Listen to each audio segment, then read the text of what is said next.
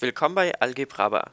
Wir beginnen nun mit der Kurvendiskussion ganz rationaler Funktionen und hierbei werden wir uns vor allem auf kubische Funktionen spezialisieren, das heißt Funktionen, die irgendwo ein x hoch 3 beinhalten. Und ganz speziell nehmen wir hierbei für die nächsten Videos, sofern es nicht äh, notwendig ist, was anderes zu nehmen, nehmen wir x hoch 3 plus x Quadrat minus x plus 2. Und für diese Funktion werden wir nach und nach eine komplette Kurvendiskussion äh, durchführen. Das Einzige, wo wir vielleicht eine andere Funktion brauchen, ist für die Substitution. Da braucht man nämlich im Regelfall, also ist einfach besser und sinnvoller, da eine Funktionsgleichung mit x hoch 4x Quadrat oder Konstanten zu nehmen. Aber ansonsten werden wir immer schön bei dieser Funktionsgleichung bleiben. Und jetzt kommt erstmal so eine Art eine grobe Übersicht, was bedeutet eigentlich Kurvendiskussion? Also ich meine, was will man denn da diskutieren? Ich könnte ja auch einfach eine Kurve hinmalen, wir diskutieren, ja, sieht schön aus und fertig. Aber es geht da doch schon um etwas mehr. Also, als erstes guckt man sich mal an, wie sieht denn der Definitionsbereich aus? Also im Regelfall ist es bei ganz rationalen, oder was heißt im Regelfall, im, bei ganz rationalen Zahlen ist es so, dass sie meistens auf ganz R definiert sind. Später kommen noch andere Funktionstypen, bei denen muss man dann aufpassen, dass es da irgendwelche Lücken gibt oder Polstellen oder ähnliches, aber dazu dann mehr. Dann betrachtet man das Verhalten der Funktion einmal im Unendlichen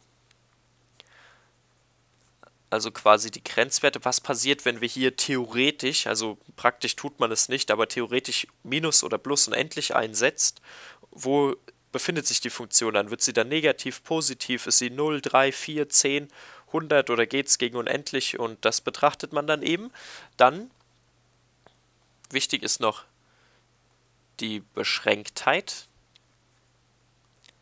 Auch dafür bräuchten wir dann eine x hoch 4 x Quadrat oder sonst was Funktion, weil äh, x hoch 3 ist generell unbeschränkt. Und man betrachtet die Monotonie. Das heißt, wie verhält sich die Funktion entweder auf dem gesamten Definitionsbereich, ist sie überall steigend, überall fallend, äh, gibt es da Abschnitte, wo sie dann vielleicht steigt oder fällt, wenn es halt nicht komplett gleichbleibend ist auf dem gesamten Definitionsbereich. Dann betrachtet man das Symmetrieverhalten. Das heißt, man guckt, ist die Funktion vielleicht achsensymmetrisch, also zur y-Achse, oder ist sie vielleicht punktsymmetrisch zum Ursprung? Wenn nein, dann muss man gucken, ist es vielleicht bei einem anderen Punkt oder einer anderen äh, Achse, beziehungsweise irgendeiner anderen Gerade, die halt parallel zur y-Achse ist, irgendwie symmetrisch oder nicht.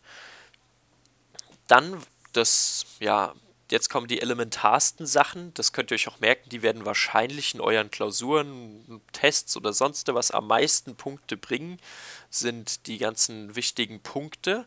Also einmal Achsenschnittpunkte. Das heißt,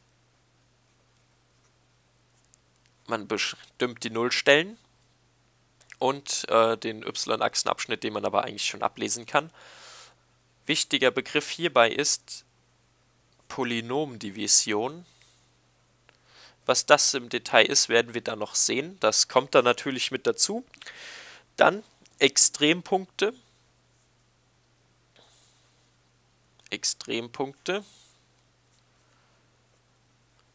Und Wendepunkte.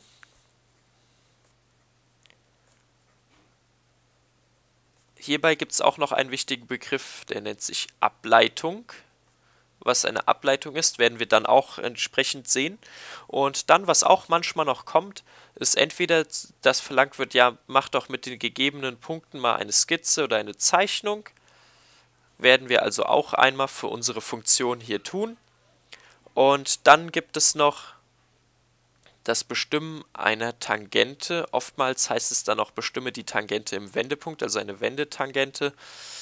Wir werden wahrscheinlich auf jeden Fall eine Wendetangente bestimmen, vielleicht auch noch für einen anderen Punkt, das äh, weiß ich jetzt noch nicht, aber mindestens eine werden wir auf jeden Fall machen, weil das drankommen kann. So, das wird jetzt äh, der Inhalt der nächsten Videos sein und fangen wir im nächsten Video dann direkt an, gucken uns Definitionsbereiche und das Verhalten der Funktion an. Und ansonsten war es das jetzt, wenn es jetzt noch irgendwelche Fragen dazu gibt. Hm, Kurvendiskussion, hast du vielleicht einen Punkt übersehen? Ich habe da gehört, man muss auch Polstellen und sowas betrachten oder ähnliches. Dann äh, einfach fragen. Und ja, beim nächsten Mal legen wir dann richtig los und bestimmen die ganzen Sachen, die hier jetzt stehen. Also, bis dann und tschö.